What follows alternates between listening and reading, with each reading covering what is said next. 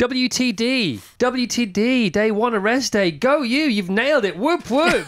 All you have to do is rest. Sit down. Yeah, WTD, by the way, not WTF. Okay, right. WTD is, of course. Um, what the donkeys? No.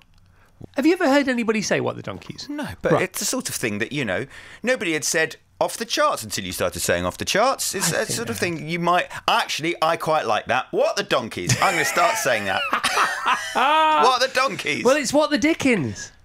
oh yeah. Where does the phrase what the Dickens come from? Does anybody know? You're not allowed to look it up. Oh. Anybody know what the Dickens means without looking it up? I dare you.